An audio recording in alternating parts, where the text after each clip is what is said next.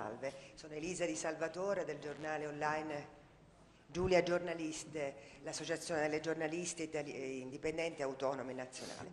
Bene, io ho riscontrato ancora una volta che tutti i colleghi hanno, le colleghe che mi hanno preceduto eh, tendono a spersonalizzare questa candidata, cioè dire fanno le domande giustamente della politica assolutamente neutra.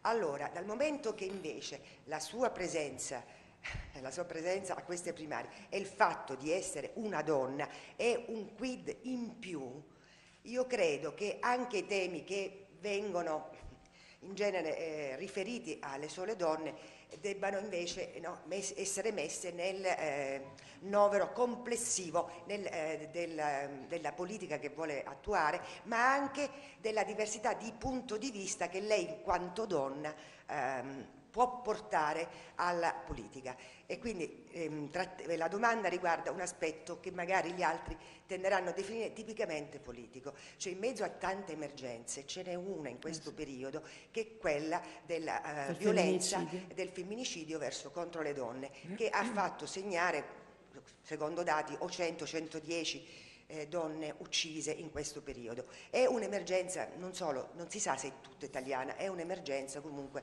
di eh, questo periodo. Le donne italiane, eh, anche perché il nostro paese è stato ehm, molto bacchettato dal SIDAO, eh, tant'è che le associazioni eh, italiane femministe che da tempo si impegnano sul territorio in questi centri antiviolenza hanno stilato un rapporto ombra che hanno presentato l'anno scorso ehm, all'ONU perché il governo e i ministri deputati non erano stati molto solerti. Vabbè, comunque adesso eh, per affrontare questo problema, perché i dati sono veramente preoccupanti, hanno elaborato una convenzione che si chiama No More, No More eh, la violenza, No More femminicidio, e, ehm, che è un piano, un progetto politico di intervento ad ampissimo respiro, che va chiaramente al, al finanziamento di centri antiviolenza, alla, alla alla modifica, all'intervento nella modifica dell'informazione,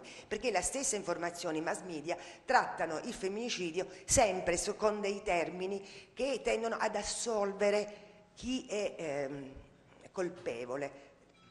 Allora vorrei sapere da lei su questo tema se ha intenzione di ehm, assumerlo fra uh, le priorità uh, del, del suo programma. Grazie. Grazie a lei. La situazione delle donne eh, in Italia credo che sia un sensore, eh, purtroppo, del livello di degrado che questo Paese ha, sta avendo. Ed è una progressione in negativo. È una progressione in negativo che ha tante ragioni, però ci sono degli aspetti che io credo valgano la pena, valga la pena di esprimere, di affrontare fondo il nostro paese ha dato il voto alle donne nel 1948, era poco più di ieri, sono 65 anni scarsi.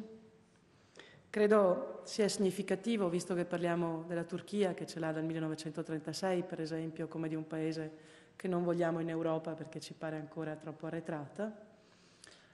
Ed è significativo perché fino al 1981 noi abbiamo avuto derubricato un delitto, che è il delitto d'onore, in cui sostanzialmente si era autorizzati ad uccidere la sorella, la madre, la figlia, non traendone sostanzialmente quasi nessun danno. Da tre a sei anni, spesso erano tre, e quindi con i tre anni, voi sapete, si fanno ben pochi mesi di carcere.